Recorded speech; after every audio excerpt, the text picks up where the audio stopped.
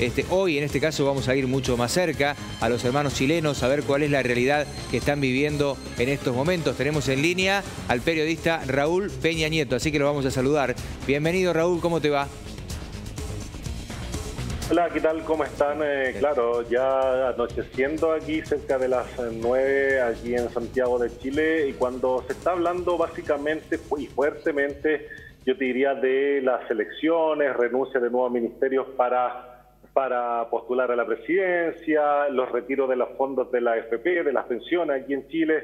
En medio de esto es lo que se está discutiendo eh, además de esta luz que está llegando al final del túnel, de la llegada finalmente de la vacuna Pfizer, que ayer, según lo anunció el propio presidente Piñera, eh, ya fue autorizada por el ISP, que es la entidad reguladora de este tipo de autorizaciones, y que se anunció la llegada de las 20.000 primeras dosis a contar de los próximos días.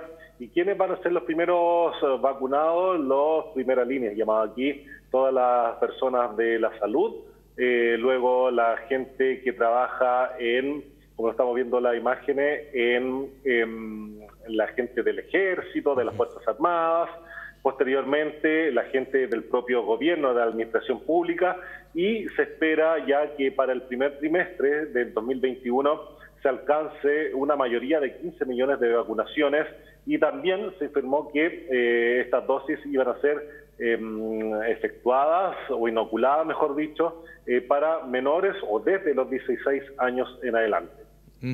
Eh, ¿Se sabe con cierta exactitud la cantidad de vacunas que, van a estar llegando en esta primera partida? ¿Se habla de, fecha también con, con, precisión? ¿Qué se sabe, Raúl?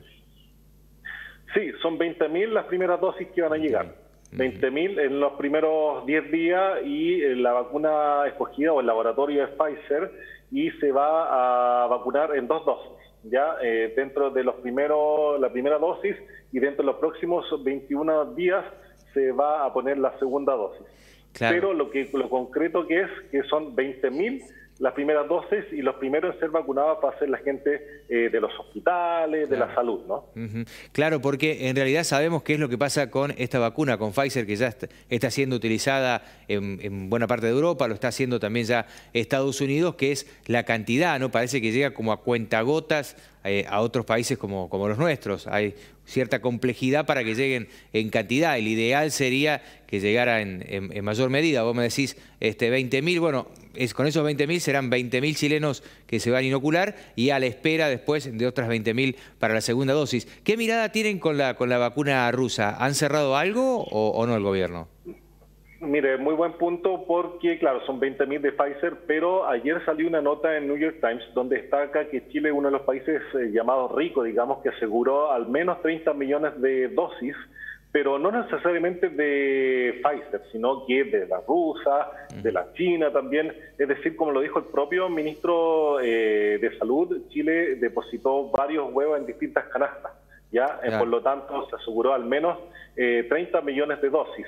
Como te dije, eh, lo oficial es que se espera, según el propio presidente Piñera ayer en cadena pública, es que los 15 millones de chilenos o 15 millones de dosis se espera aquí para este para el primer trimestre. Bueno, aquí eh, no hay una cifra cierta de cuántos chilenos somos, pero según el último estudio como el índice somos alrededor de 18 millones.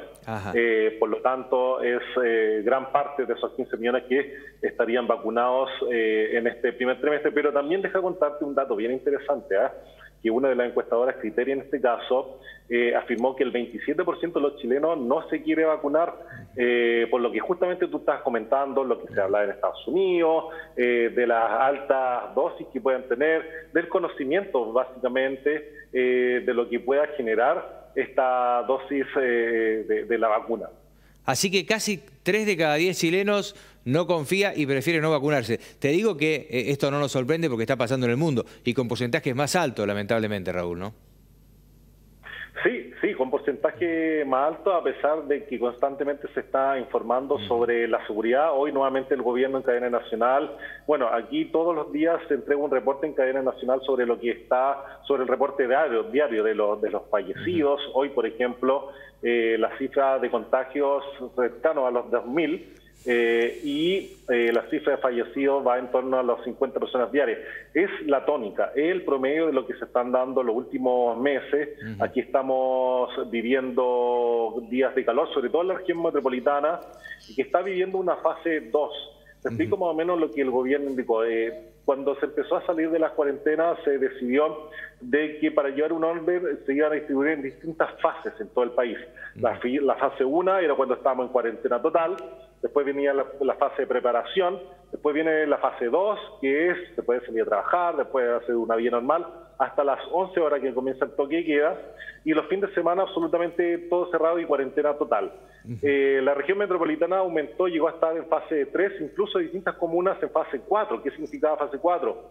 Que se podía hacer prácticamente vía normal, que el comercio estaba abierto, que los restaurantes ya podían estar atendiendo eh, con mucho cuidado, eh, con mesas en la afuera, pero hace dos semanas todos nos sorprendimos porque esta alza del 11% que está viviendo el país en general de la dosis, eh, finalmente eh, terminó en que la región metropolitana retrocediera a fase 2 eh, en pleno comercio, en pleno fiestas navideñas, por lo tanto, el presidente, bueno, destacado por su fuerte interés en el tema económico, el tema de, ver trabajo, hizo un anuncio también de que esta fase 2 en la región metropolitana se iba a evaluar hasta eh, las próximas semanas, incluso antes de la fiesta navideña, y posteriormente sí hacer un próximo anuncio de lo que pasa, si se retrocedía fase 1 o finalmente pasaba a fase 3. Eh, la última consulta que te, que te, hago, Raúl, con respecto a las fiestas, ¿ya se ha definido cómo, cuántas personas se va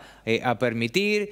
si hay alguna definición con tema horario o en realidad hay libertad absoluta en las reuniones del 24 y el 31? No, no, no hay libertad absoluta. Esto se marca también en lo que es la fase 2, en cuanto a los horarios están limitados hasta las 2 de la mañana del 24, del 25 ya y del primero de enero.